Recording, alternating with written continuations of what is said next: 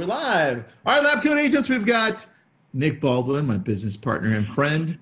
We're hosting Ylopo today. Dan, are you still on here? Because we can't see you. Uh, no, Dan's gone. Uh, but Dan made this all this possible on the back end. Thank you, Dan. There you are. Appreciate you. And we've got G. He's the he's the master at Ylopo. He makes everything happen on the back end. Howard. Howard's the guy that puts everything together and lets G handle it. Uh, right, Howard? Wow, these introductions. I'm just messing with you. Stellar. Did, did you practice these? yeah, yeah, yeah, put away the, put away the note cards. Shut the Man. front door. And Barry Jenkins, who has a glass of water. I was gonna And, say, uh, he's also Nick Baldwin. Guys, thanks for joining us. We're going to be going deep into Facebook to show you how lead ads are created and then how Ylopo simplifies that and what they're doing to make it a lot easier for us as agents to get business from social media. Uh, G, I'm gonna just hand this over to you before I screw anything else up. You're Oh up. God. Can I just say that uh, G's wife's about to have a baby any second? He actually might have to get up in the middle of this webinar and go to the hospital. It, it's very possible. It's very If possible. do- If that happens, then Howard's going to take over and show us how to create lead ads. Uh, I, would- I want to watch this. At at that point, we, we shift to how to build a five-year P&L pro forma, There you go. That's right. whether That's to right. capitalize or straight the expense. topic, the topic of R&D. this webinar could change at any moment. We're gonna, it's a whole different webinar. Yeah, that's right. Awesome, awesome. So we've got a lot to cover today, so I'll, I'll get going straight into it. Um, you know, want to give you guys a quick agenda for the things that we're going to get into. Um, the first thing is I'm going to talk about, you know, you, you've heard about Facebook lead, lead ads, I'm sure, which is why you're on this webinar, but I'm going to talk about why you should be doing Facebook lead ads. And uh, frankly, if your ads are not Facebook lead ads and there is not a specific reason, uh, meaning you're using a different Facebook product to do advertising, then you know you are missing out on a big opportunity because this is the way that you generate leads on Facebook, which is why they are called lead ads, right?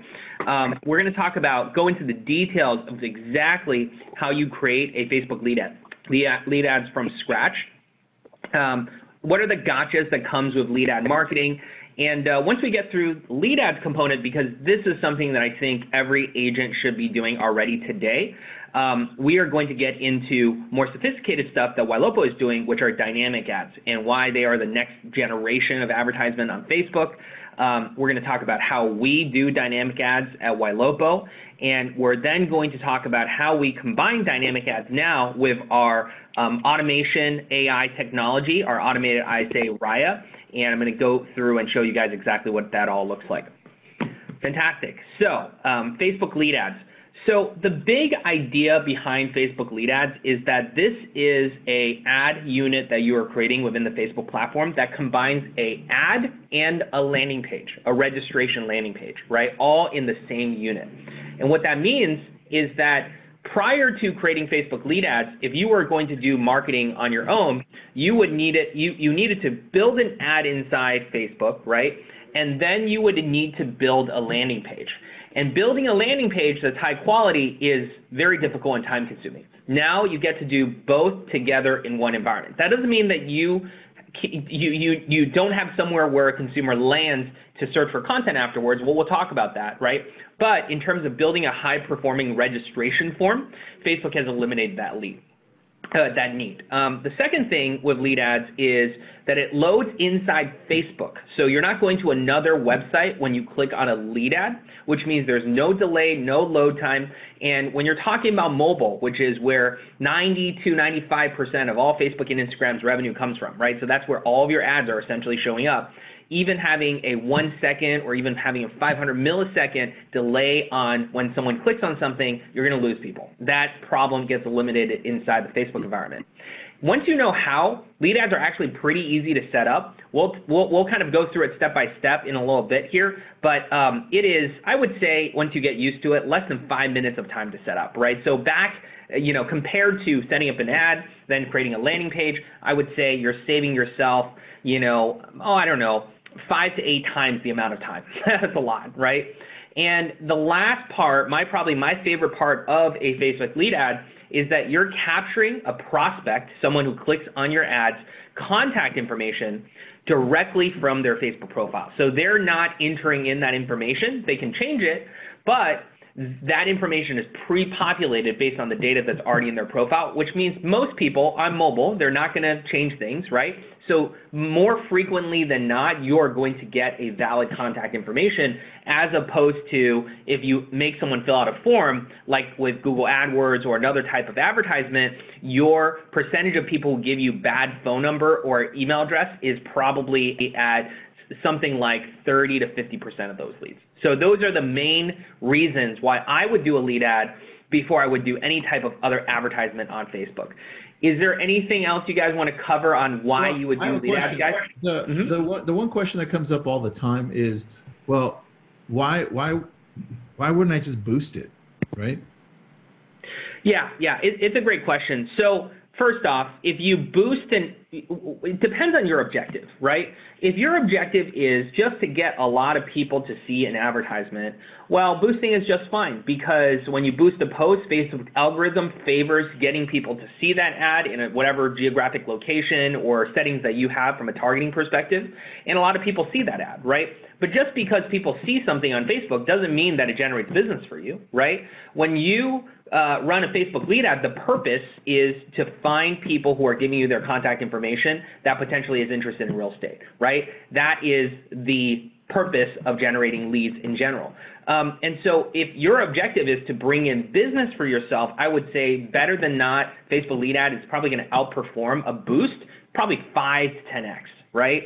Um, because the only way you're going to get people from a boost who becomes a lead for you is if they click on that ad, they come to your website, they see content, they're going to actually fill out a form on your website if they even get there, or somehow they message you or something like that once in a blue moon on Messenger because they were interested in property, right? So it's just much more efficient if your objective is to actually bring in business.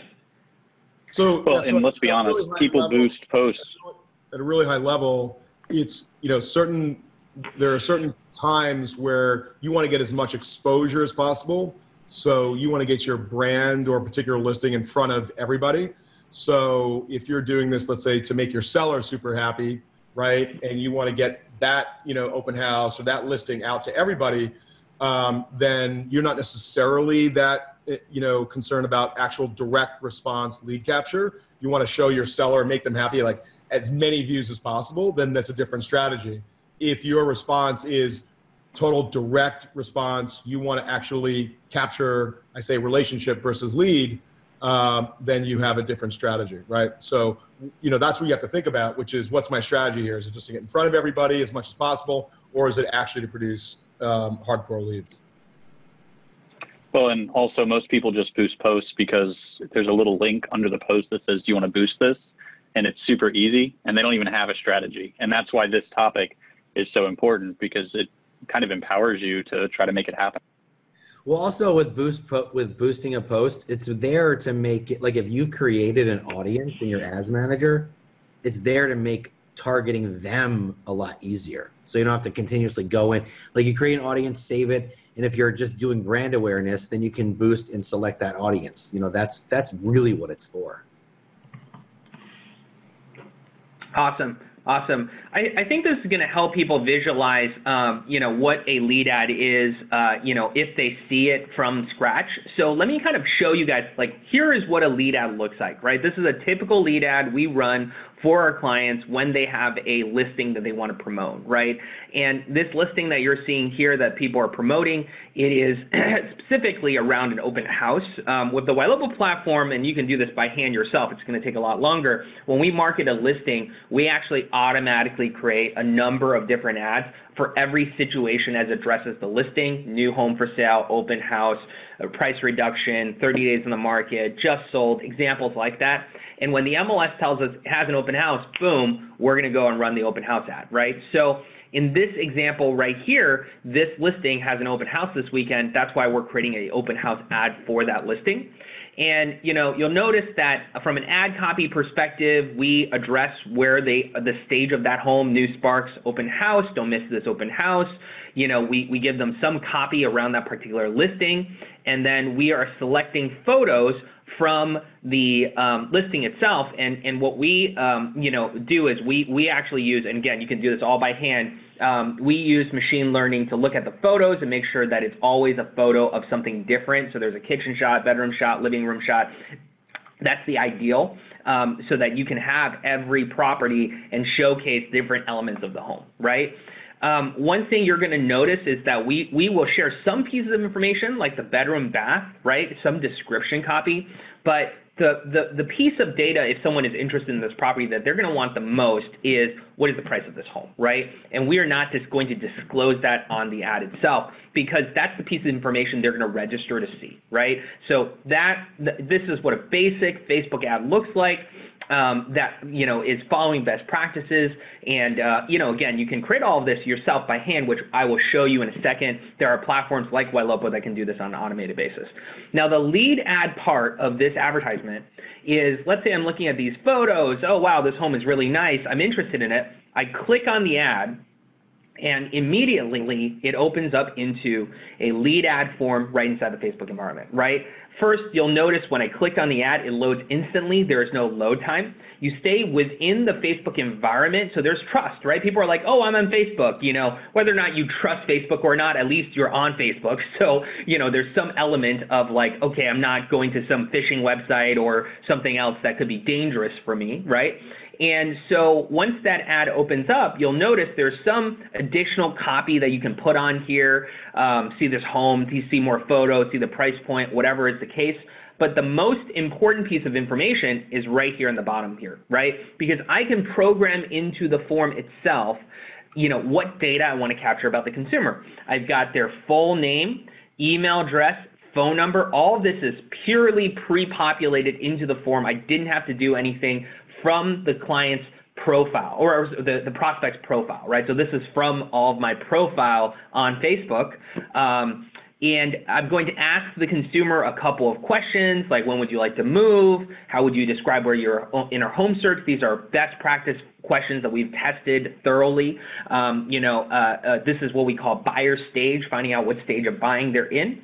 And once the consumer has provided those details, when they press the next button, we give them another option to confirm they actually want to fill out this form, right, by giving them a terms of service. And at the moment where I click on submit, that's when they become a lead for you, right? So now this is a lead inside your system um, that you can extract in a variety of different ways, which we'll talk about in a little bit later, right? Now, the last, uh, eh, please go ahead. G, one, one thing on that. Um, the, the thing that's so interesting about this is normally uh, providing your information on a lead form is the reason that people bounce off the screen, or that's uh, also why it's easier to give fake information. But in this case, it's actually easier to allow Facebook to pre-fill your information and you just hit submit. Um, and so it's just interesting that they've kind of flipped it on its head, which is why this is such a great way to scale your business because they've made it easier to give you the right information than the wrong. Um, so it's a huge win for agents. Hey, G, you've, you've got a couple of quick questions. Uh, one is, does Ylopo automate messenger ads? The second question, is there an option for radio buttons instead of drop down? Uh, yes. And, oh, uh, radio buttons, no. It's always a drop down, uh, but you could have um, two, two, choices or five choices or 10 choices. Um, you know, you could have a blank space um, if you wanted to, but uh, for, for space reasons, um, they will not provide a radio button option. Messenger ads, yes. You know, um, basically the same type of advertisement. This is the beauty of Facebook. Uh, plays on Facebook, Instagram, Messenger app, um, and uh, you can even start doing advertisement on WhatsApp now, right? So all, all channels. Cool. And, and I'm sorry, there was a question of is it possible to put different questions in this form? And of course, you know. 100%. Yeah, I'll, I'll, let's wait on that. I'll show you when we go to the creation part how you go ahead and do that. Yep, so that's all possible. Answers yes. Um, yeah. So, so the last step from a consumer perspective, right? Like you, you know, for agent perspective, like you're you're done, right? Woohoo! You've gotten the lead, right? But this next part is just as important because for the consumer, their objective is not to fill out a form of yours, right? Their objective is to see this property, and so at the end of this, there's a call to action. You can program it to be whatever you want, but we put in here, click here to view photos. When the consumer presses that, they are going to come into our home search website that we built for our clients. that's going to showcase the listing at the very top, so it builds confidence and um, and trust that we are giving them the real information. And so this consumer can look at that property, but as they scroll down, what they're going to see is, hey, here's all of these similar properties to the one that you looked at. And what we found is that typically the consumer clicks on that, they start browsing for more properties, right? So where you land the consumer is really important. What what I would say is I've seen a lot of people who run lead ads and who assume once they register, your job is done, right? And then when they click this button, you take them to a home page, you take them to, sometimes I've even seen a blank page that you take people to, um, and or you take them directly to your MLS where it's a pretty, you know, not great UI experience of the property.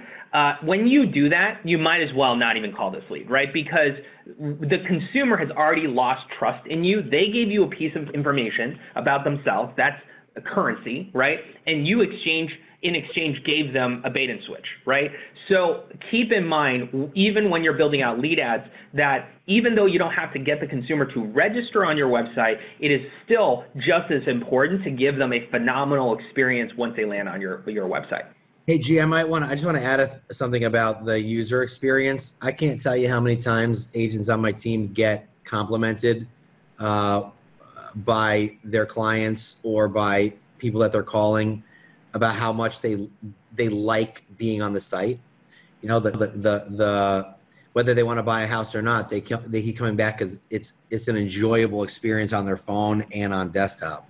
So, so that, really that's a piece of advice that I think we don't give enough.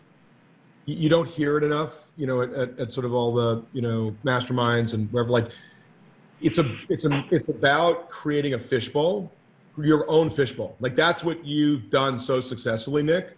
You know, you've created using you know state of the art technology, not just us, lots of other folks. But you've created your own fishbowl, and you're fishing upstream. You're getting all of these you know consumer relationships before they're ready, right? But you're making sure that you've got a best of breed home search experience, that you're showing them the right stuff so that they're not pissed off, right? Showing them relevant stuff that they would be interested in, whether it's three months, six months, nine months, 12 months but you're you have all the tech in house now, which really hats off to you and Tristan to keep them coming back forever to your fishbowl. You've automated that whole thing. So that means that they're not going to get picked over by your competition on realtor.com or Zillow or these other places. Well, the key to that that you just talked about is having great mobile optimized home search. Because at the end of the day, you know, we can all share our brownie recipes, but no one cares, right? People care about thinking about where's the next place that they're going to live. Again, no matter what their their time frame is. That's the success of HGTV, right? And DIY, like everybody loves looking at homes, and as G has so brilliantly sort of realized, like that's the most important thing that we can do to keep bringing back bring back these folks forever. So critical. If you don't have it, and it doesn't have to be from us. Like there's a lot of other great providers out there. If you don't have state of the art mobile optimized homes that consumers want to use, you're at a disadvantage to to everyone else. It's what starts the relationship, the lead. It's what starts the relationship, but it's what keeps that relationship coming back forever to your fishbowl versus these larger larger ponds. Well, let's also talk about and, this statistic from Facebook recently, and Tristan and I added it to our presentation, where they said that 51% of consumers say that they're likely to make a purchase when they receive personalized content, and that's essentially well, it's exactly what Ylopo is doing with with the retargeting and with the dare ads, which we'll get into, I guess, in a minute, and then with the way the websites are laid out. Exactly right. Hundred percent. So there's another very important thing with Gotcha, right? When it relates to uh, running a lead ad, you know, uh, uh, most people when they run a lead ad, I would say best practice is that you're sending the traffic to a uh, a IDX home search website, right? It could be any number of vendors. You have options for doing that, right? One mistake I often see though is once a consumer clicks on this button right here and comes to your website, right? Oftentimes, what you do is you send them to a link and you forget that the purpose of your IDX website is to also capture leads, right? But you've already captured that person's lead. And so when this consumer is on this website and they click on a listing, boom, pop up appears right here asking them to register again, right? So think about that from a psychological perspective. Consumer already gave you all the information. They come to your website, they're expecting to see content, and you have another registration form pop up. You ask them to put information in again, right? So a, they're going, well, you know, you're not very thoughtful about what you're trying to do from me, right? And B, it's chances are at this point they're going to say, I already gave you information one, I'm going to leave, right? So you are giving them a substandard user experience and you're not capturing as much uh, brand loyalty, consumer engagement, all that kind of stuff, right? Um, so, so most IDXs have the option to turn off the lead capture. Um, you should look into how you do that on your own website. With Ylopo, we've done a really sophisticated integration to log this person when they click on one of our ads into our home search website. So we're actually already capturing this person's contact information, then logging them in. And at this point, as they are browsing through the home search experience, we are now capturing all of that data, sending it back to your CRM so uh, you know exactly what this person has done, right? Um, you know, that's obviously the most sophisticated version of what you can do where we're not aware of anyone else has done that integration, but the simpler version of this is just turn off your lead capture. You don't get all of that rich data about that session, but at least the consumer isn't seeing anything that, um, that is really annoying them. Well, and I think for agents, it's hard, you know, like with our ego, we want, like in our inner circles, we want our online brochure, our branded website to be amazing, and there's nothing wrong with that. It's just that if the consumer doesn't know who I am, they really don't care about my website. They care about the houses and what's going to get them to the property the fastest. That's what they care about. And it's so funny that Ylopo's innovation is so simple, right? It's not, we're not harping just on creativity or just on ingenuity. It's like, let's just give the consumer what they want. They just want to look at houses and uh, getting them out of their own way and putting it in front of them. And that's why I had 18,000 people shopping for a home on my website last month, right? Like I've got a little universe of consumers that I'm their person. And, and uh, man, that's my retirement plan right there, you know? 100%. Awesome. So, so when we're talking about Facebook lead ads gotcha, right? The first one is the double the double registration. That what I would say is number one thing you should watch out for.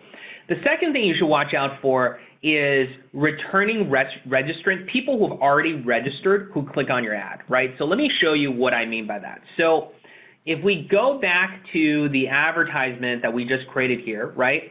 If I refresh my screen on Facebook, what's going to happen? Well, Facebook says, hey, you just filled out this form. Wouldn't it be nice if I showed you this ad again? You're the most likely person to click on this ad, right? Because you just clicked on this ad. That's what their algorithm is designed to do. And so let's say that I see this ad five days later and I'm like, wow, that's a really nice home. I should check it out again, right? When they click on this link, they've already registered. So what Facebook's going to do is they're going to say, jump ahead to the fact that they've already registered and then just deliver them the content. What's the point of having them fill out another form, right? So as soon as I click on that lead, I get to the landing page, I click on this landing page, I'm back in the home search experience. For the consumer, this is fantastic, right? But for you, Facebook already counted this as a new lead, right?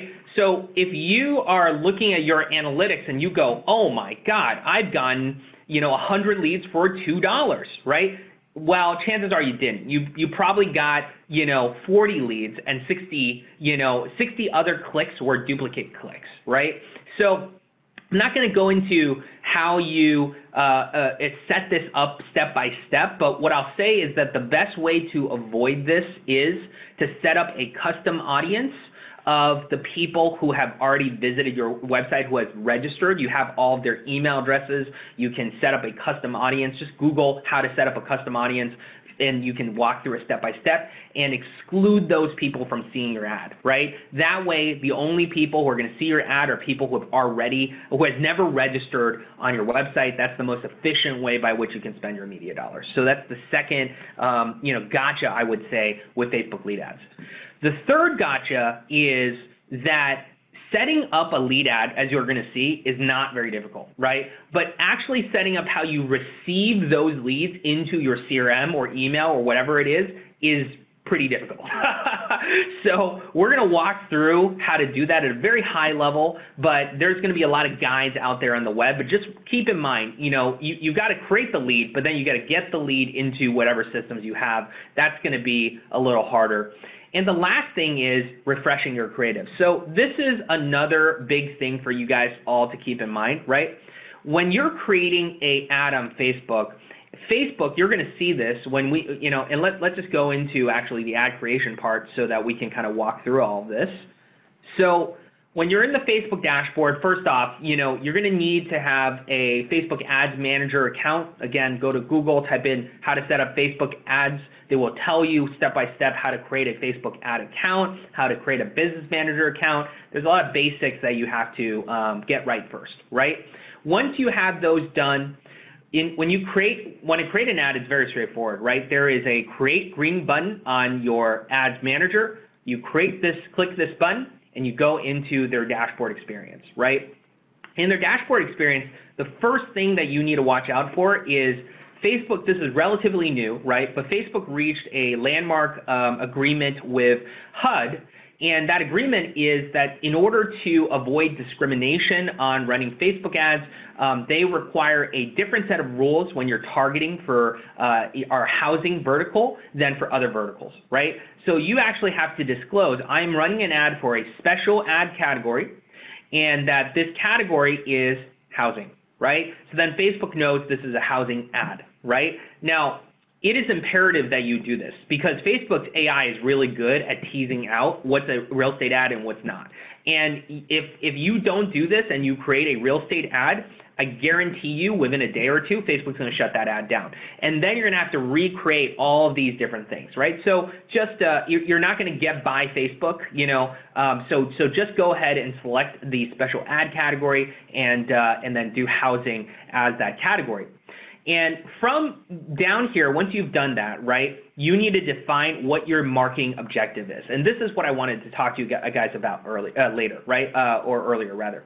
So you have a lot of options here. And when you're generating leads, really, uh, you have essentially only three options, which is you want to generate conversions, you want to generate traffic, and you want to generate leads, right? We're going to click on the leads option. This is the option that is going to create a lead ad, right? But the difference between all of these options, the best way to, for you to think about it is let's say that you end up targeting 100,000 people in your city for a Facebook ad, right? That's how many people you could possibly reach. What Facebook's algorithm is going to do is based on your objective, it is going to show your ad to the percentage of that 100,000 that they think is going to help you achieve your objective, right? So let me give you an example. When you boost a post, right, Facebook says, well, you know what? The goal of a boosted post is to get people to engage with that post, to like that post, to comment on that post, to do any variety of things there, right? So the objective usually is going to be engagement, right? When you run an engagement ad, because you're not trying to generate leads or anything like that, out of 100,000 people, Facebook will probably say this ad is probably relevant to 40 to 50,000 people, and so those are the people we're going to show them to because the other people are too, you know, not interested in real estate whatsoever, right? So we're going to show it to 45, 40 to 50% of people, right? When you want to generate a lead, if you're in the traffic or conversions category, Facebook is going to say, okay, well, now you are trying to reach a subset of people who are actually going to fill out a form about generating leads, right? Uh, or, or click on an ad about real estate, right? Well, their algorithm is going to look at every person that has visited a website related to real estate, has clicked previously on a real estate ad, and all that kind of stuff. And they're going to say, out of 100,000 people, here's 20 to 30,000 people who will probably click on this ad, not just engage, but click on this ad, and those are the people you're going to see show the ads to, right?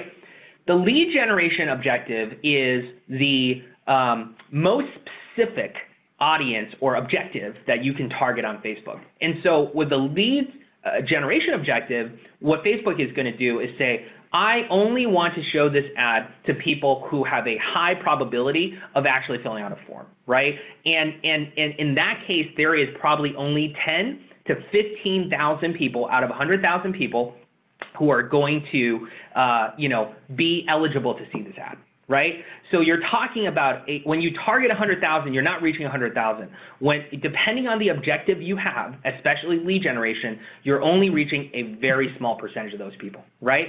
Now, why am I explaining all of this? The reason I'm explaining all of this is it doesn't matter how beautiful your ad is.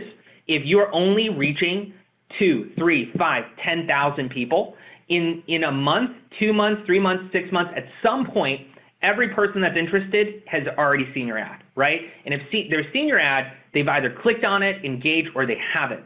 And if they haven't, over time, your ad performance is going to decline, right? And so you have to keep refreshing and building new ads, even if your ad that you've created so far is performing great for a week or two, right? By week three, by week four, by week 10, it's the performance is going to drop off in a curve very, very quickly, right?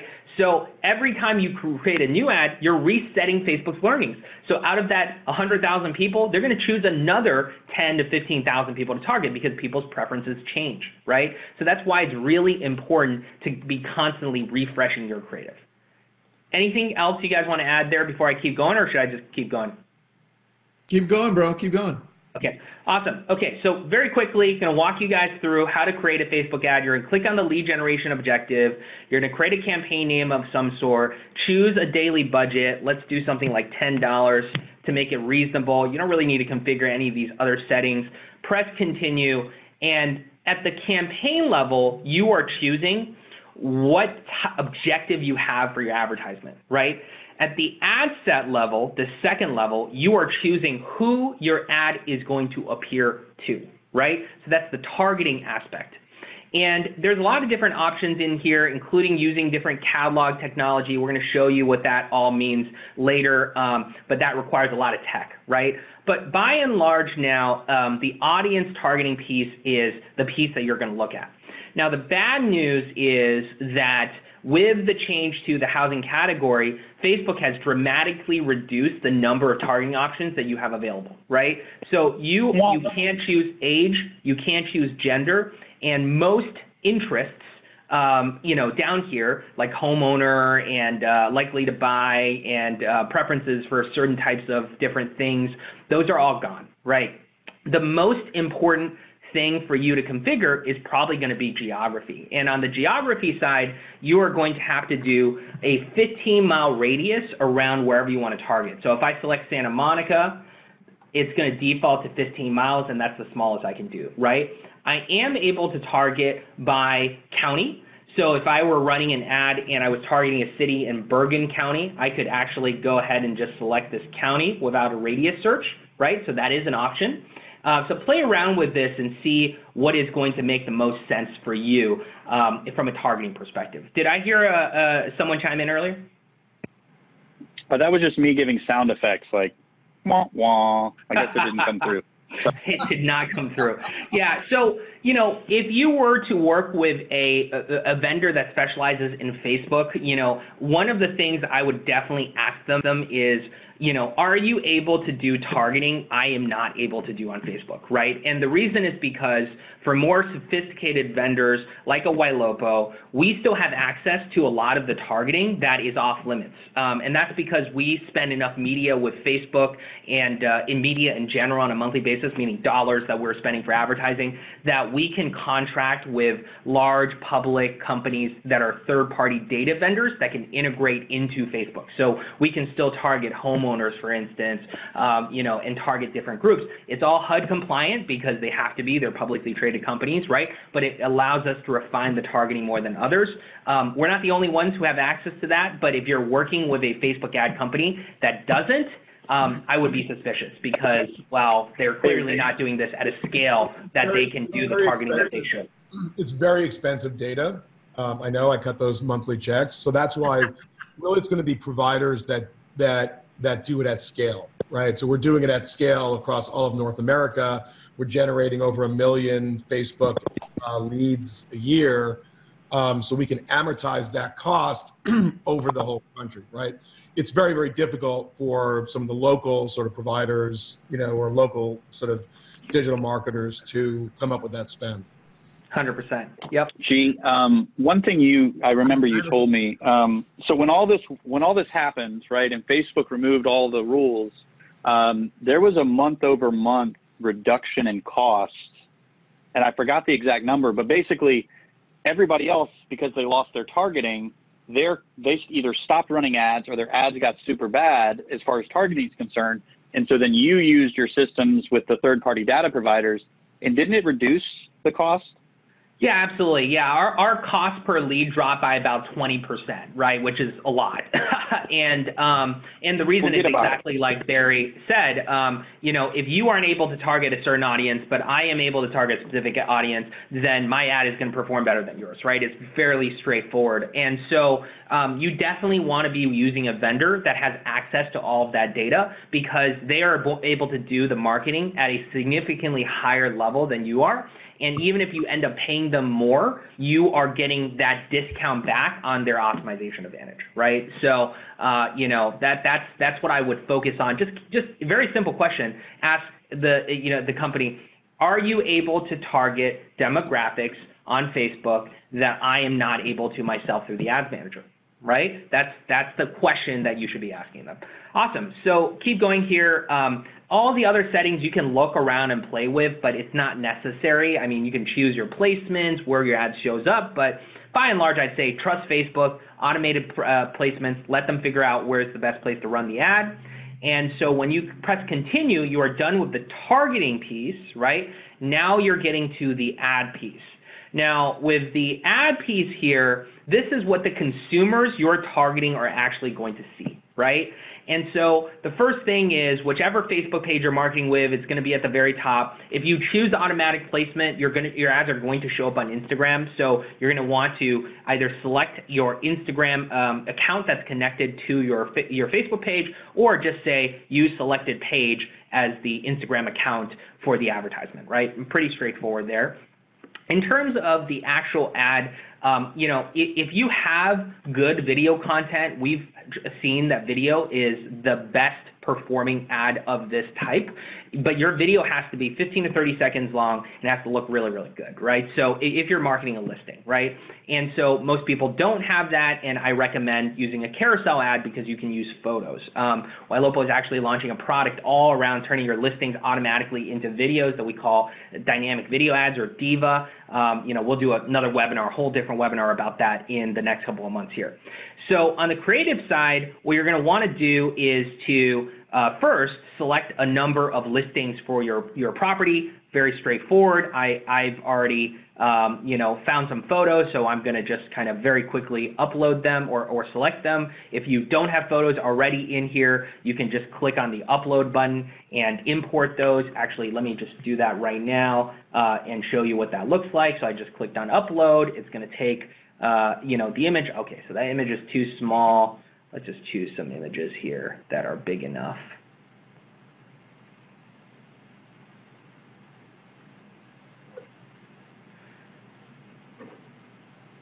Come on, Facebook. Okay, all right. So uh, anyways, it's going to be too hard to find those images, but um, let me keep going here. So uh, you're going to, once you select the images, right, you're going to want to put your, your copy in a couple of different places, right? The headline copy is what's going to show up right here. And what's great about Facebook is as you are typing these, it will show up on the actual Facebook ad, right? So I can put in here four bedroom, three, four bath, you know, it's going to show up right here and you're going to see exactly what that, that looks like, right? Uh, you know, on the description side, same thing. I like to put something like click to view photos or something along those lines so that it shows up right next to the button that they click on in order to um, sign up, right? You can choose the call to action. Um, does this really matter? I would say as long as your call to action makes sense, uh, you know, it's not going to matter. So meaning if you click get quote, well, there's no quote involved here, right? Probably doesn't make too much sense. If you use sign up, learn more, subscribe, you know, I've seen a lot of these different options. They all work uh, pretty similarly. I haven't seen a huge change uh, relative to that. Uh, we, we use the learn more option. And now comes the most important part, which yeah, is the instant. Go ahead. Do you find that learn more probably works better than sign up? Do you feel that sign up is a phrase that kind of scares people away? We have not seen that in the data. I mean, the difference, if there is a difference, is like very marginal, like one or two percent. So, um, you know, we, we tested this in the early days, uh, and we just didn't see a huge difference. I think learn more makes more sense, but yeah, we, we tested we tested sign up, learn more, uh, and actually those were the uh, only ones that we tested. I think we might have done a small test for subscribe, but that didn't that that actually didn't work out. Cool. Any other comments on the ad creation process? We had an earlier question about uh, the, the questions that you could possibly ask, but that's at the bottom of the screen under inquiries. Exactly. Yeah. So once you've created the Facebook ad, right, that's kind of the easy part. The next most important part is creating that Facebook lead ad form, right? So if you've never created a form before, you're not going to have the options that you're seeing here, uh, which are all the forms that we create for a client. We create a form for every single ad that we generate automatically for a variety of different reasons. So you'll see on a, a typical page that we manage, there's going to be hundreds of, uh, of forms. If you've never created a form before, you just click on the new form button right here, right? And it takes you into the form editor. And just like when you're creating an ad, you get to see exactly what you're typing in on the right-hand side, right? So you're going to want to name this form, new form, something, right? And um, the first decision you have to make is, do you want to generate more volume of leads or do you want them to be higher intent, right?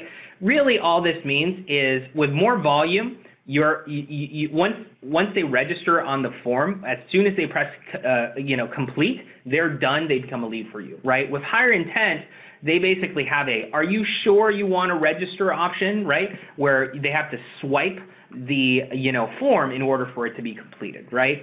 Um, I, I, have uh, not really seen that this higher intent option actually generates a higher quality lead. Um, and also, when you're forcing people to answer questions, you are essentially asking them to commit to filling out the form. And so, by and large, I choose more volume, uh, but there are specific reasons. Maybe you're generating a seller lead or something else that you might want to use a higher intent option. So, it's totally up to you.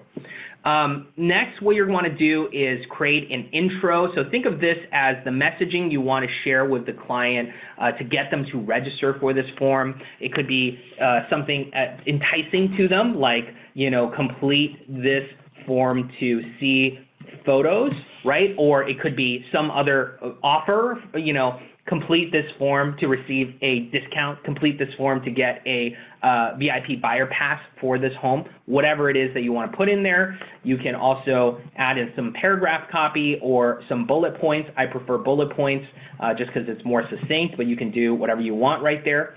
And to the people who are asking about questions, this is probably the most important part of the form, right? Because you get to customize all of the data you're getting about the consumer. Um, so by default, they have selected email and full name for you. If you know, the next thing I'm going to always ask, add is phone number. So I go to contact fields, press phone number, right?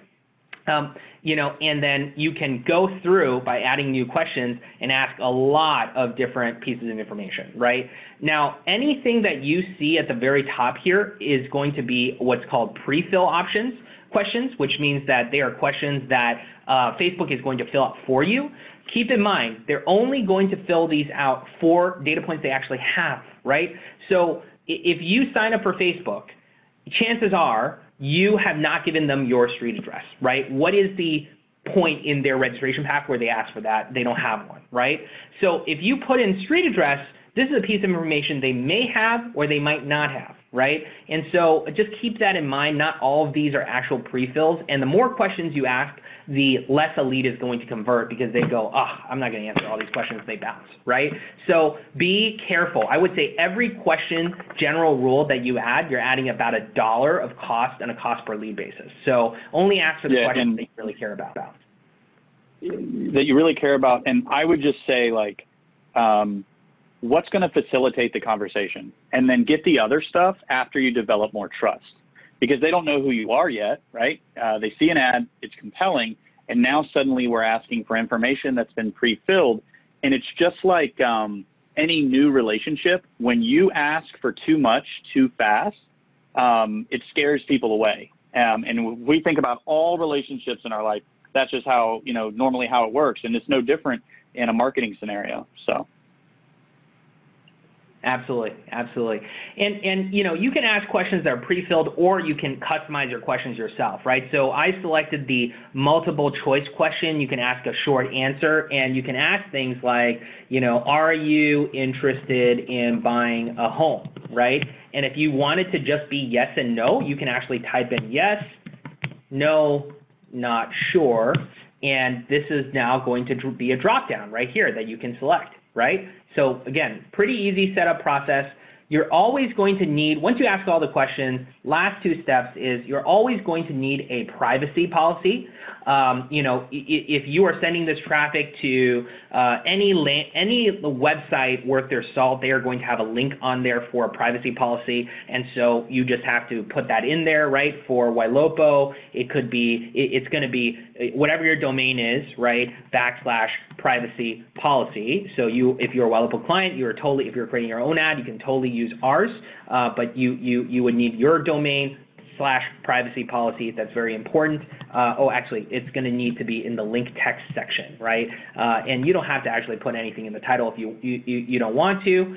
Um, last step is the thank you screen, right? So on the thank you screen, they have pre-populated some text in here. If you want to write something else, you're perfectly happy to. Um, you can then, you know, make the call to action. I typically use view website, and you can actually change the button text. So click here for photos or whatever else you want. The most important thing is wherever you want the consumer to land on after they click this button is going to go into the uh, website link right here, right? And that's also required. Uh, you heard all of our advice about that beforehand. And so I'm just going to put in a generic email here. I'm going to press finish. Uh, let me just turn some of these things off um, so I can register. And Facebook is going to tell you, okay, great, you created this new form, it's available. It, you can now choose it from this option. You can preview it, and you're basically at the finish line here. And you can go ahead and confirm this ad and turn it on, right? So that's the process by which you create a lead ad. What's great about the lead ad creation piece is from now on, this form that you just created is going to be in your form library, right? Which is all of these forms you see here. So the next time you want to create a form that's same but different, right? Let, let's say it's a different URL that you want to send traffic to. All you have to do is press duplicate and everything's already going to be in there and you just edit the field that you want to edit, right? So over time, this becomes even easier as you're creating, creating all these new ads. Um, any, anything else you guys want to add about the, uh, you know, ad creation process? No, I, I mean, like the, the first, uh, the the multiple choice that does extremely well instead of filling out giving the option for the consumer to fill out. That's a that's a highlight. Just wanted to let you know. Well in like the first 75% i was like yeah this is easy this is easy this is easy. And then like the last 25% i was like kind of getting complicated.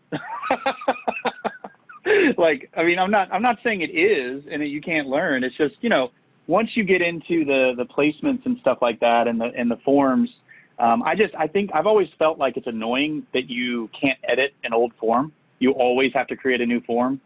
Is anybody else, Nick, Tristan, do you guys ever feel that like you know you're you're always when you're adding the form? Anyway, all right. Well, Larry agrees with me, and his name. Larry agrees. That's it. I haven't created a Facebook ad on my own in probably a year and a half. Because because well, Larry agrees with me, so that's all that matters. Awesome, awesome. Okay, um, well, you know, we are going to go into overtime for sure here. So let me keep moving here.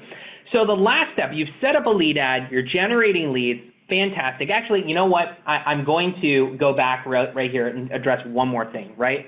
So a lot, I see all the time I don't want to say unethical, but but but kind of clickbaity people in lab coat agents and other places who are trying to you know digital marketers who are trying to get business right? Eh, post things like you know I just generated 500 leads for a dollar each you know uh, do you want advice on how to do that? Right? And and the reason I say that that's clickbaity is you know if I generated a lead form where there are no questions other than email address or full name, I bet I could generate a lead just because all you have to do is click on the ad and then click complete and nothing else. I bet I could generate a lead for 50 cents. Is that a good lead? Of course it's not, right? So what you want to do when you're generating leads on a Facebook lead ad form is understand what is the quality standard that you're trying to meet, right?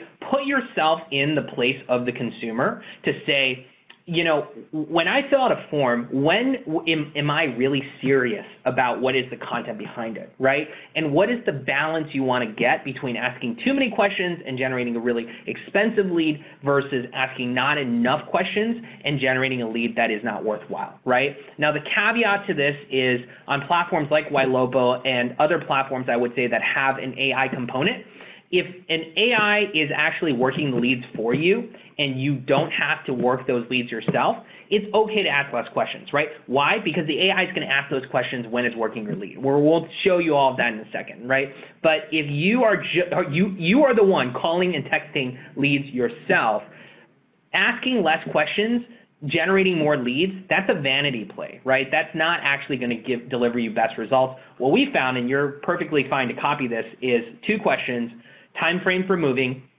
and where you are in the buyer uh, stage, right? So those are kind of my high level recommendations. Okay. The the questions that we usually ask, just so everybody knows, is there are two, and that's are you looking to are you looking to move in the next 90 days because we're looking for urgency, and then the second question is do you need to sell in order to buy? Those are the two questions that we ask, and then we give them choices in the multiple choice. We don't have them fill it in. That's smart, very smart. Awesome, awesome. So um, last thing, uh, you know, now you've generated the lead, right? Fantastic. How do you get those leads out? this is the hard part, right?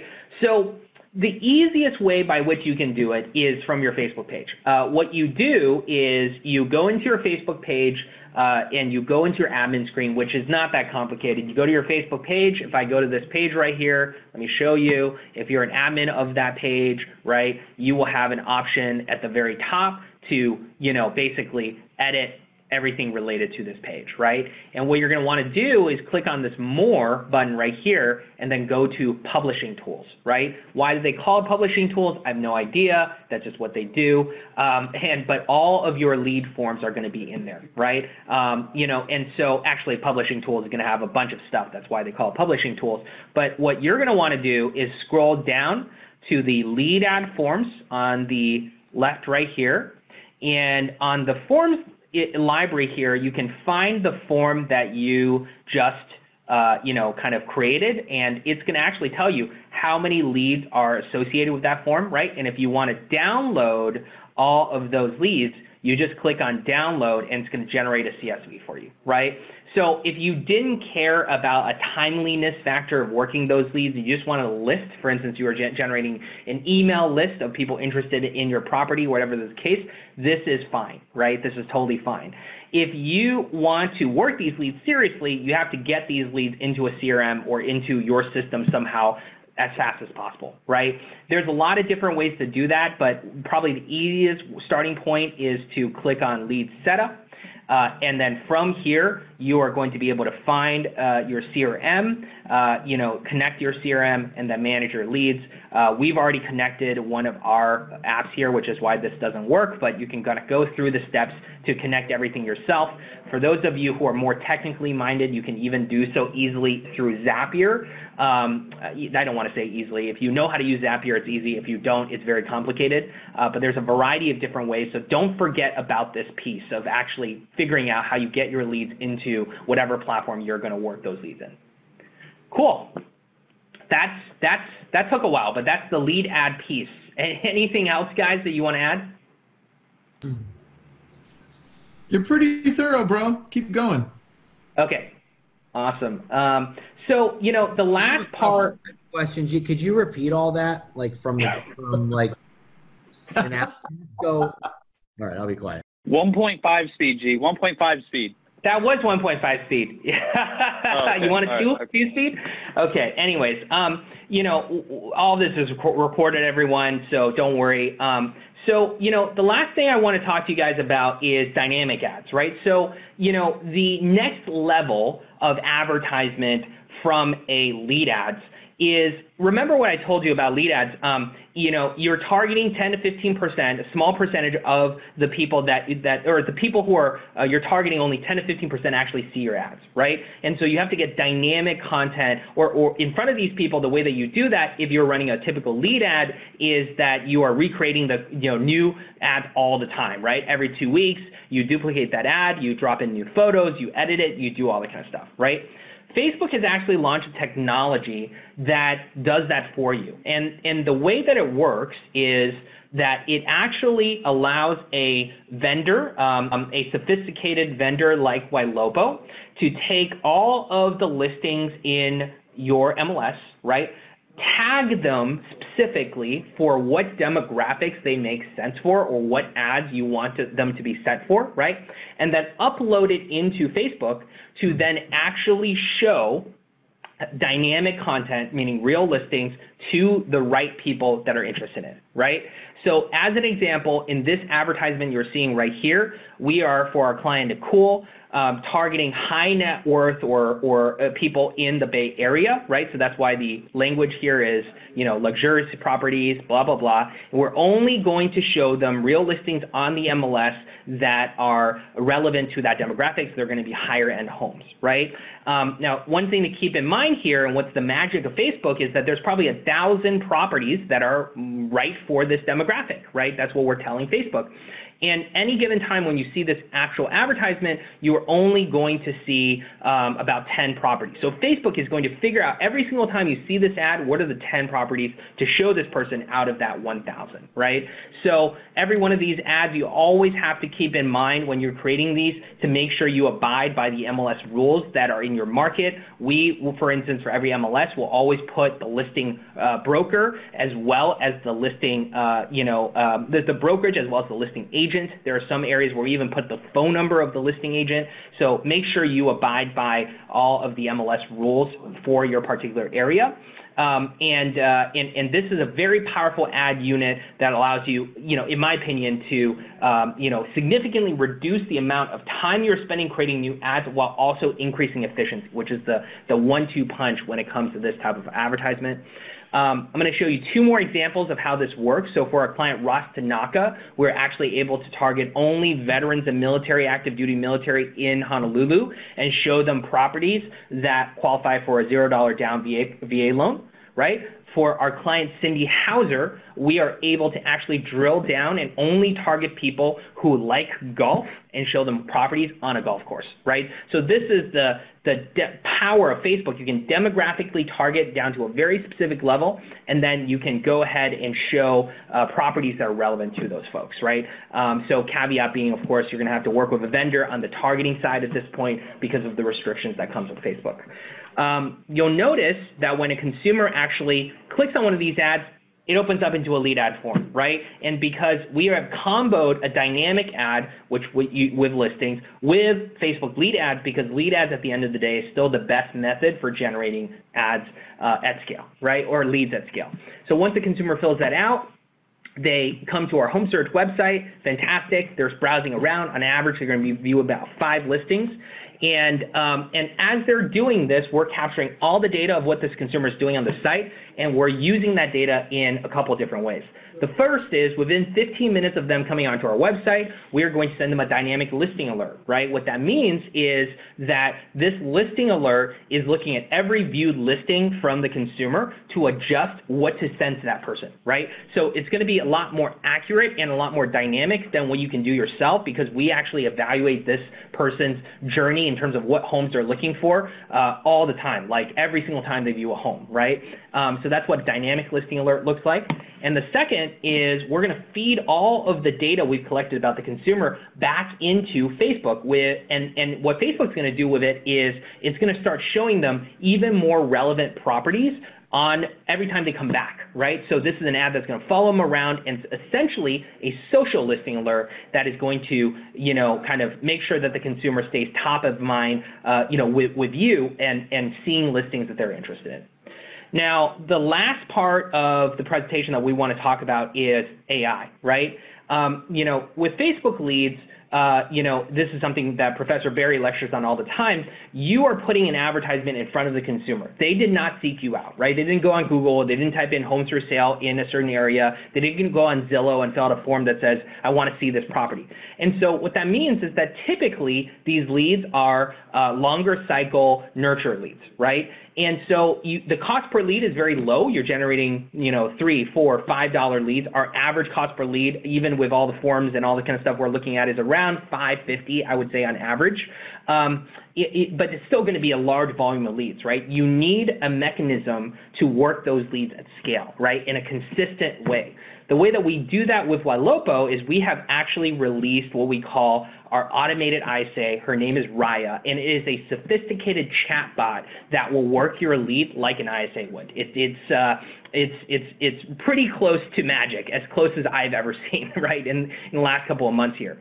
The way that Raya works is as soon as a lead comes in, we're going to automatically text that lead. Hi, April. This is XYZ's assistant. We always position ourselves as the assistant. That way, if you already talked to that person, you can kind of have cover, right? Um, you know, we want to ch check in on you. Uh, what would you, would you like about the home? Blah, blah, blah. So we've scripted specifically around what this person is looking for. That second text, if they don't reply, is where we start using dynamic data to provoke a conversation, right? Is this April? I might have found some other homes on my website you'll like. Here's a link to a few I found. And boom, we're sending them a link of properties that we think they're going to be interested in, right? And the insight, as Barry would say, is that consumers don't know this can be automated yet, right? So their perception is, whoa, you put in all this effort, found all these listings for me, I better respond, right? You're guilting them into a response.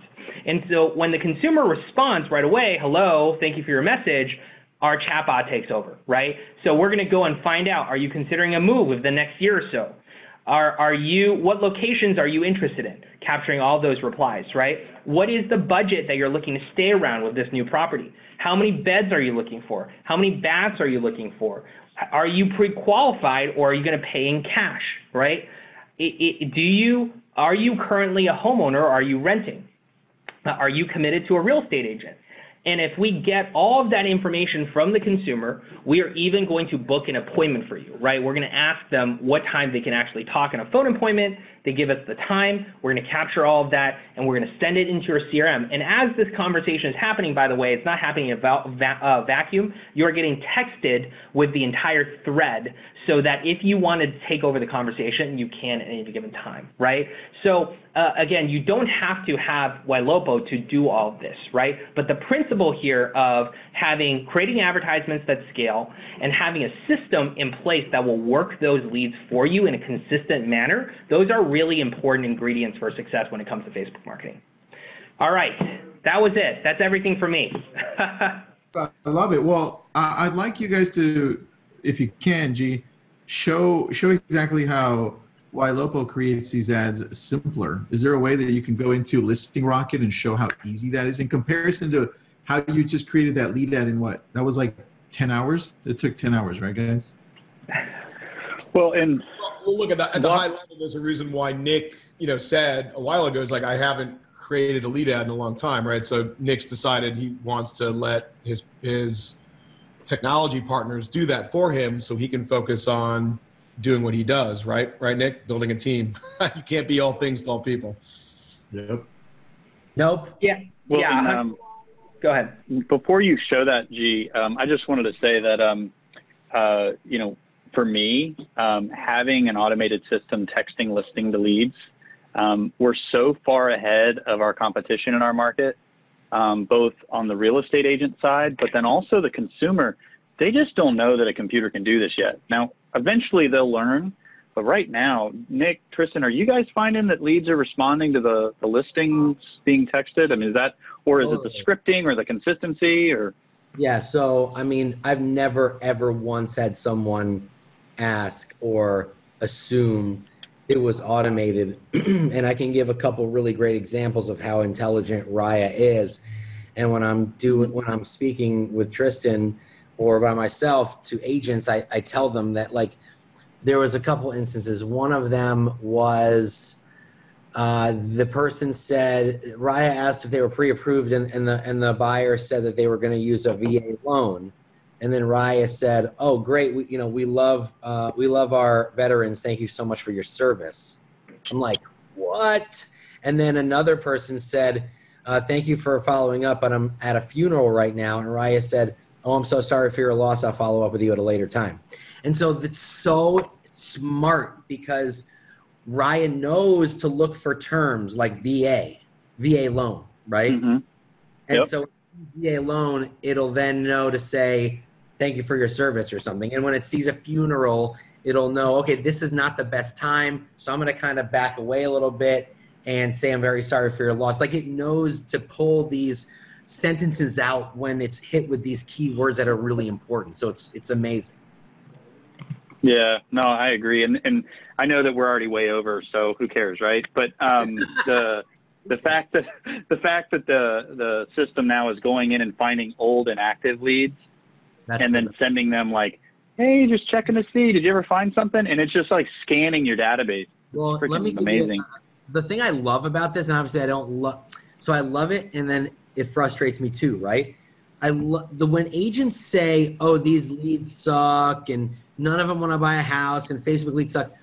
When Raya goes back and asks if they're still looking for a home in in whatever way it asks, and the person replies with, "No, I already bought a property," that right there, I say to my agents, I go, this right there means there are people in this database that need to buy a house because they're saying they already bought one, which means we didn't follow up or whatever the case may be. So, yes, do Facebook leads need a little extra nurture? Sure, for the most part. But there are people in my database who have already bought homes, and I'm to blame for that, right? And so it makes me more motivated because I know that they're in there. And Raya is going through and fishing and making my life a lot easier. But look, let, let's be very clear. If you're if you, if you want to go in and buy, you know, Facebook lead ads and you want them to close, you know, you want to go show them properties next week, don't waste your money, right? If your approach is, hey, I'm going to build value in my business, and the way to build value in my business is to build a database consistently over time, then, you know, 6 months later, I always say every 6 months, you've got a, a whole pile of leads that are 6 months old, right? Every 9 months, every single month after that, there are leads that are aging to 9 months there are leads that are aging to 12 months. Those are the folks that that we're bringing back. Those are the folks that Raya, you know, is communicating with. Those are the folks when you run a call night with your team once a month. We're finding literally 10% face-to-face appointment levels on a call night. So if you, you you can't do that if you don't you don't have a database that you keep building over time. You build that database over time, and you have even you know whatever 5,000 leads in that database, right? you know, and you're calling and texting on a coordinated call night, you're going to get with 200 reach outs, you're going to get 20 face-to-face appointments, and 72% of all sellers will will list with the person they meet with, right? And you're going to get a, a sell and you're going to get a buy. So, you know, we're going to scream till we're blue in the face about the value of, of, not just trying to like, you know, produce leads and, and think that they're going to, you know, they're going to work out for you tomorrow, but investing in your database long term and investing in technology that will keep them in, as I said in the very beginning, keep them in front of you when their time is right. You know, that's that's what that's that's the the essence of all of this. I agree. All right. Uh, G, jump into the back end of Ylopo. Show us how to create lead ads super quick. Yeah, yeah, absolutely. So Ylopo has built out a whole dashboard on your marketing side that we call Mission Control, and it's to make things like building out lead ads super simple, right? Um, you know, basically, uh, you know, in this dashboard, you're able to do a lot of things, see exactly how much budget you have, how many leads you generated, what your cost per lead is. I won't even go through all the different dials and controls that you have but um, we've simplified pretty much everything, right? Um, uh, for example, uh, if you wanted to generate a lead ad, right, for your listing, uh, all you have to do is, you know, uh, type in the MLS number of that listing, find MLS, it's going to find the listing, create listing rocket, boom, you're done, right? Very, very simple. If this is a listing that is already associated with your name uh, in the MLS or with your team's name, it's even simpler because it's going to show up in the launch session section right here. And then all you have to do is press the launch button. Let me let me show you that this this client has already created all of their listing rockets, so they're really on top of it. Um, so launch section for Barry right here. I see this listing I'm interested in because it's new, right? I click ready for liftoff. Boom. It's going to take about 30 seconds, and that ad is going to get created, right? So it's one click creation on the back end. Now, what's going to happen uh, once you've created that that ad is it's going to show up in the um, you know uh, active section once you turn it on. And with Ylopo, uh, I, I, think I mentioned this earlier. When we create an ad for you, we don't just create one ad. We actually create a sequence of ads automatically. Um, and based on your MLS, let's say this home this home's been active 30 days. This is the ad that is running for them, right? If it has an open house, the open house ad will run. And every one of these ads have different copy and different photos, so they look very different, right? So remember what I told you, you have to refresh your creative all the time uh, when you're using lead ads. Well, we automate that process as well by pre-creating all of these and mapping it to your MLS triggers, right? So, um, you know, so on the back end, you're able to do all of this very easily. You're able to adjust your, your settings. You're even able to generate really beautiful reporting, uh, choose your targeting demographics. And so there's easy and sophisticated all built within uh, our Ylopo backend, but hopefully it is a lot easier than trying to create your own lead ads. Dude, so much easier. Can you, I don't know if you have this ready or you can show it, but can you show how a dynamic ad works in Ylopo? How as the people engage, it changes and, and then it sends them the right properties so that you don't have to nurture those leads that way? Sure, sure. You guys keep talking and I'll pull one up. Barry, how's your day today? so it all started at no, I'm just kidding. Um, the uh, you know what I like about this whole thing though is like you know I go into sellers and and sellers want a strategy, they want a plan, and um, and you can say like I've hired a marketing agency that has already set up ads at different stages of the listing, and then depending on your business is going to determine whether you run a lot of ads or a little. Like in my area, I'm only running listing rocket ads like this because I told my seller I would advertise their house. I'm in a balanced market, right? It's it's it's different, but dynamic ads that are geared towards like people looking for homes with swimming pools or, or new construction homes or waterfront um, to be able to target a type of person that's looking for a type of property and show them like 12 of them in an ad man, I have had the same new construction ad in my Ylopo account for I think like 18 months, and it averages. I'm getting like five dollars a lead. I've spent I don't even know six thousand dollars. I mean, like it just keeps going and tweaking and running the ad to different people and always changing and it just it's it hasn't stopped. And when I ran ads on my own, I would have to start and stop the ads over and over and over. But I was only working with one houses or a couple of houses. But because the MLS is dynamically changing inside of my ads, it's always relevant. So I just set it and forget it. Did it was that long enough, G? That was perfect. That was perfect. so, so yeah, so let me show you a dynamic ad, right? So this is an example of a dynamic ad. Why is it dynamic? Well, first off, we're targeting people who are downsizing their home, right? So we're targeting homeowners looking to downsize, that's the demographic, and we're showing them properties. Uh, we're going to sh show them, for the most part, properties that are one story or something like that, etc. But bottom line is, when you click on one of these properties, it opens up into a form. On that form, like I said, we're showing, ask them a couple of questions. Um, you know, depending on the type of lead we're generating and the client we're using, we might ask different questions. Um, in this case, for instance, if you want to generate a a lead that is not a renter, if you're running into a lot of rental problems, we like to ask a question, what type of property are you looking to buy, right?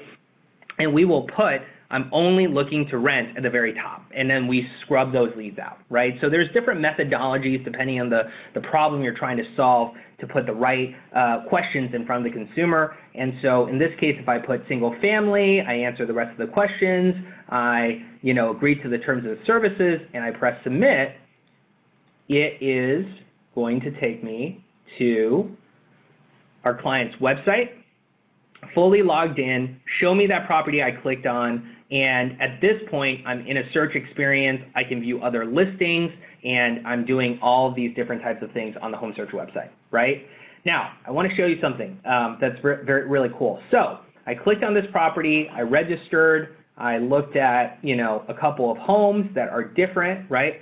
Watch what happens when I refresh my page right here. Let's see if Facebook actually does it. Sometimes it does, sometimes it doesn't.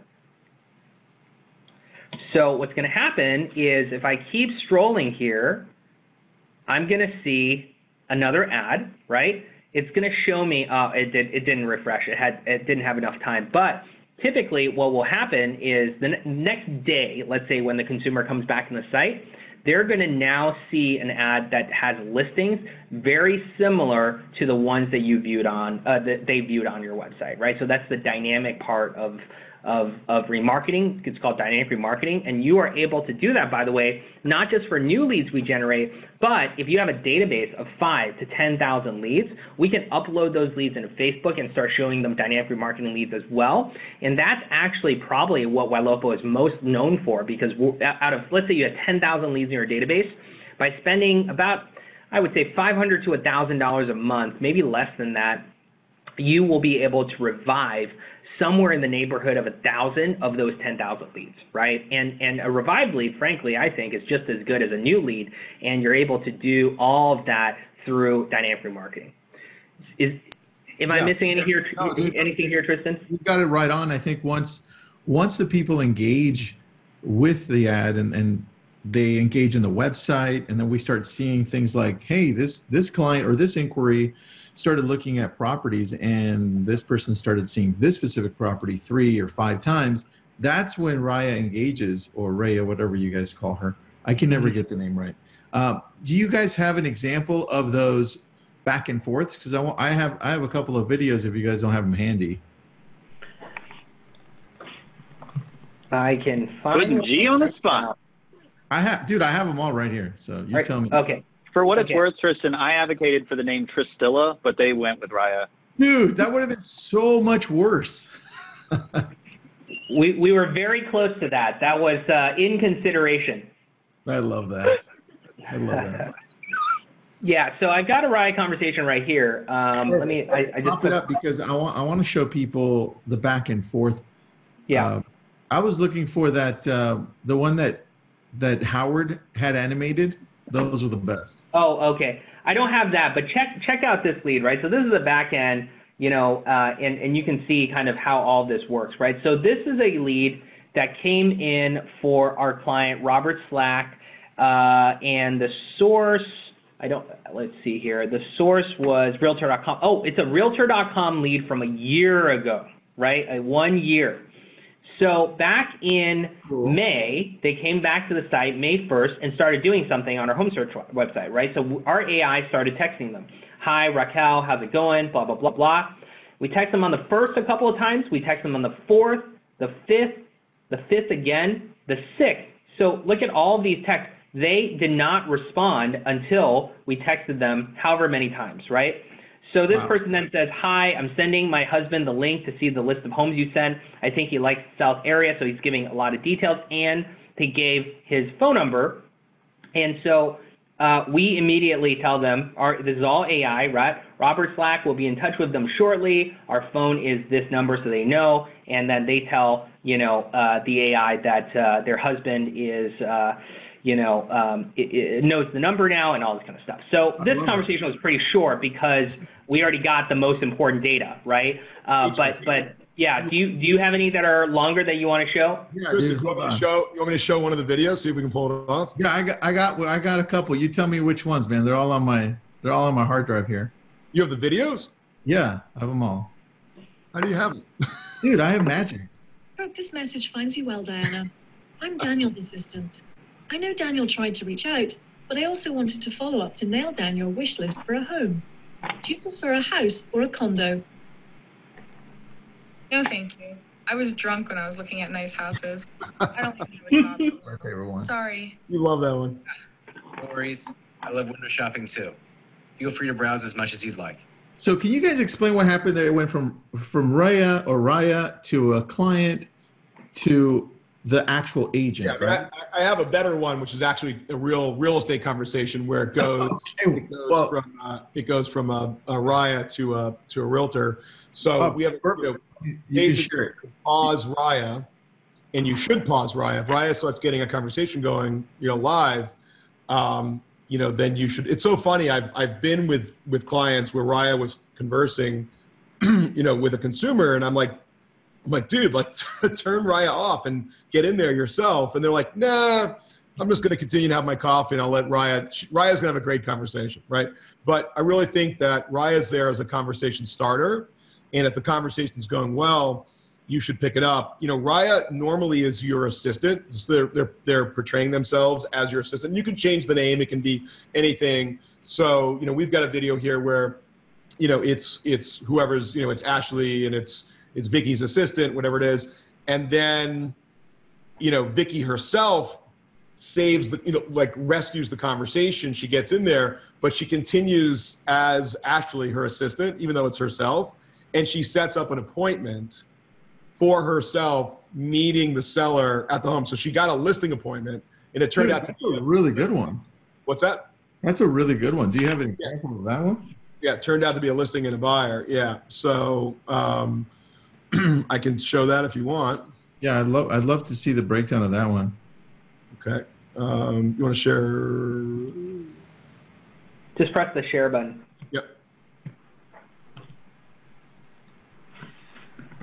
This is, this is a marathon right here, Tristan. Dude, there's a lot of great content, man. I don't want to stop. Yeah.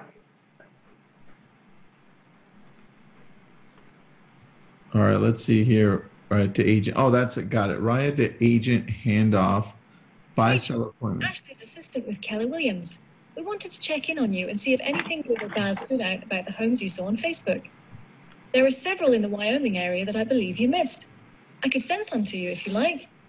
Is judy at gmail.com still a good email for you? Did someone use your number by mistake? Is this not Judy? I might have found a few homes that could work in Wyoming on our website. Here's a link to some I found. So she's, Thank you. she's kind of My reaching out over correct. time. Today I saw some two bedroom, two bathroom townhomes, but they were too expensive. I'm at this time only looking.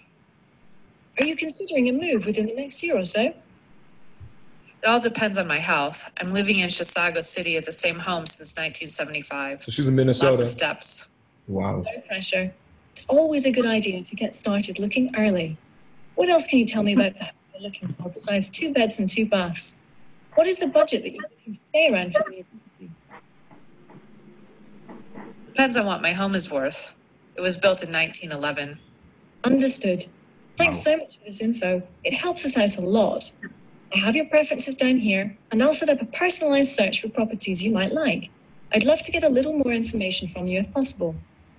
Have you been pre qualified for a loan, or would you be looking at a cash payment? Just guessing a townhome around 500,000. Cash payment. Ashley would be happy to do an in-home analysis so you know what your home is worth and ultimately what you'll have to bring to your next house. Would that be helpful? Yes, definitely. Great. Is there a time on Tuesday that would work for Ashley to stop by for 20 to 30 minutes? Around 1 p.m. should work. Perfect. I have that in her calendar. Can you confirm your address, please? Can I also get your preferred phone? Here's Ashley's cell. 10 Main Avenue, Chisago City, and my cell is. Great. Ashley will see you on Tuesday at 1 p.m. Feel free to call with questions in the interim. Okay, thanks. Dude, that's beautiful, man. Uh, can I can, so, I, can I just jump in really quick? Because at the very beginning, um, when we're looking at it, it looks like Raya just keeps on going, but that's actually that's actually spaced out between weeks, right? So it's it's a slow process of Yeah, so she's she's kind of yeah, it's spaced out over time, and you know we have examples we'll show. It's like literally over months, just Raya occasionally, and then when the conversation gets going, it gets going. This agent was smart enough to see it happening. Um, you know, Raya was very sort of non-pressury. It was sort of like, yeah, let's take your time. We're at the beginning of the journey. We're just going to help you. So we've, you know, it's been programmed not to be overly salesy and not to be pressure filled, right? Um, but as soon as the agent sees that, you know, this consumer is really conversing, it's a $500,000 t- townhome, which is no joke, you know, in Minnesota, right? She goes right in, she continues the persona of the assistant, and then she gets an appointment, which is gonna, which basically turned out to be, you know, both a sell and a buy, which is really really cool. I love it, man. Uh, G, we didn't even get into. Uh, is it Diva? We didn't even get into Diva. Uh, That's a whole different webinar. webinar when we release it. let's let's talk about Diva. But wait, there's more. There's so much more. We didn't even talk about HomeBot or anything else. So, We have a series a series of webinars we can do. Isn't that good? Good. dude. All right. Well, I, I'd like to have another webinar. Um, what are we in November 1st? Maybe we should shoot for December 1st. We could do like Diva, a seller experience, and and maybe one more thing. What do you guys think? Yeah, I think, Sure. I think let's go for let's go for Diva. I think video ads is the future. So why don't we really? What do you think, Jay? Just really focus on Diva a bit. Well, Yeah, Diva yeah. Let's let's do one just on Diva. All right, yeah, perfect. and- Let's, let's focus on just that. You know, Let's do. Let's focus. Uh, Howard, what does Diva stand for? dynamic video ads. Oh, that was easy. All right, dynamic video ads. So All a right. Diva is a really important, right? Person, Yeah, Person. which makes sense. I love the name. I love the but uh, yeah, dynamic video ads and the ability to automate. See everything is about automation to make agents and, and team leaders and brokers' lives easier, so they don't have to do it, right? So Diva just makes it all automated, so you could have hundreds, if not thousands, of videos that are always being created, you know, around your listings or your brand or whatever it is, and you don't have to do it. It just automatically happens. So we'll tease it with that. People like, wow, how does that happen, right? So for anyone who finds it like, oh my God, I've got to go create all these videos, spend all this time, spend all this money, Diva's the answer for that. Love it. All right, let's plan on kind of tentative December 1st. And I know a lot of you have questions. You've already been messaging me. If you have questions about Ylopo, go to ylopo.com. You get 50% off of the initial fee, which is great. It just mentioned Lab Coat Agents. And then uh, Howard might send you a t-shirt. He might not. I'm not sure. Uh, but just mention lab They're code the most, aren't they the most comfortable t-shirts in the world? Dude, I love those t-shirts. G, what are you wearing? This is this is uh, I don't know. I don't. I'm not sure we're giving this out. This is the Ylopo Under Armour shirt. Um, but Tristan, for you, you you can have one. All right, man. I'll stop by. Yeah, I I Nick, Nick isn't here on uh, anymore, so he can't have one. Uh, too bad. Fine, Nick. Too bad. All right. Well, let's plan on for December. First week of December. Barry's still on. Thanks, Barry. Yeah, December 1st is the day before I Yeah, fly man. to, uh, day before I fly to Tokyo and Manila. So Wh- can't why, why are you going to Tokyo? Um, well, because you have to stop in Tokyo to go to Manila anyway, so you might as well eat a little sushi while you're there. Can you bring me some Hello Kitty stuff from Tokyo from the airport? Okay. All right. Thanks, buddy. Okay, I'll take you out. All right. Thanks, guys. See you later. Bye. Thanks, man. All right. Thanks, guys. Thank you, Tristan. Thank you, Nick. Thanks, Thanks. Dan.